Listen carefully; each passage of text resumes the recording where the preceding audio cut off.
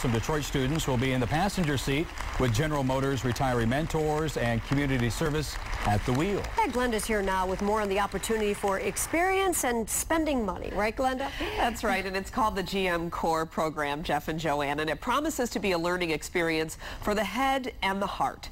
110 Detroit high school students joined company leaders at headquarters today for this announcement. They will participate in the paid internship program that focuses on service, education, mentoring. Each will have the opportunity to do service learning projects in the city with training and mentors from 60 GM retirees and 12 GM University of Detroit Mercy student interns. We have a jump start for the students that you see in the room today to have General Motors on their resume, make some money, do something that they're proud of back in the communities where they're growing up and living, something that people that are younger than them can actually remember them for, something permanent. And that's the projects that you're going to see come out of the city with these students run by our retiree programs here this summer